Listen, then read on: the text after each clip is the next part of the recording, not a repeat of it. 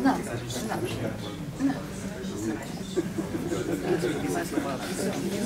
Não, Bom, eu, eu antes de, de.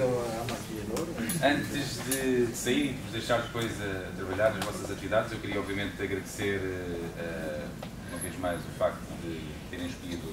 este local para fazer eh, esta atividade. Quando o Ricardo Andrinho nos lançou este desafio, nós eh, obviamente que aceitámos logo porque gostamos de ver, e creio que essa é uma lacuna, eh, as empresas cada vez mais perto do desporto, eh, mas não só numa lógica de espectador, numa lógica também de perceber que o desporto hoje em dia necessita de um conjunto de áreas e de intervenções para permitir que os atletas cheguem ao mais alto nível e a altas performances. Já não basta correr e ter força nas pernas, hoje em dia há um conjunto de